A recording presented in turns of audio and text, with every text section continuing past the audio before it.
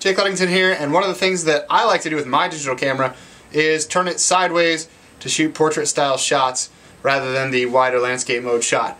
And as you can see here for video, that doesn't work so well. So, one of the things you do if you did shoot a video like that is you can use software to fix it and rotate it, and I'm going to show you how. To rotate a video clip in iMovie, you need to go to imovieplugins.com and download TurnClip. This is the uh, video effect that's going to allow you to make the change. Also, you need to make sure that you have iMovie HD installed. iMovie 08 will not work for this. Uh, add your video clip to the timeline once you've got all that set up, and then you're going to go over to the editing tab and video FX and scroll down until you find the CFX enhancements and choose turn clip. Then you're going to configure so that you rotate 90 degrees, 180 degrees, however many degrees that you need to get it so that you are having your video face right side up.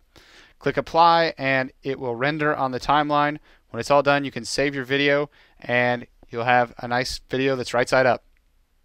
If you followed the steps in this video, everything will be right side up at the end of the video. Uh, you may have black bars on both sides of your picture because the aspect ratio of the video will be wrong otherwise, but at least your talking head, like me, will be facing the right direction.